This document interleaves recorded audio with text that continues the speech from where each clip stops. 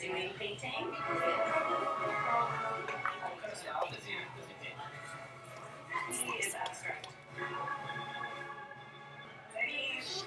Finger painting.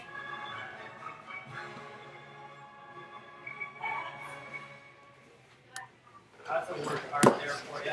Now, if you look at me, you wouldn't think that I would have any, any talents that I would really do much of anything. But in fact, you're wrong. Even Simon has given talents, and I'm about to showcase. I only have three. But check it out. Here's my first hidden talent. You ready for this one? Here's the next one. I saw that. How is that? Here, one more time. Right on the tip of my nose every time I do that. And here's my, uh, my next hidden talent. I'm going to need a prop for this one. The crazy frog is coming. The crazy frog is coming. The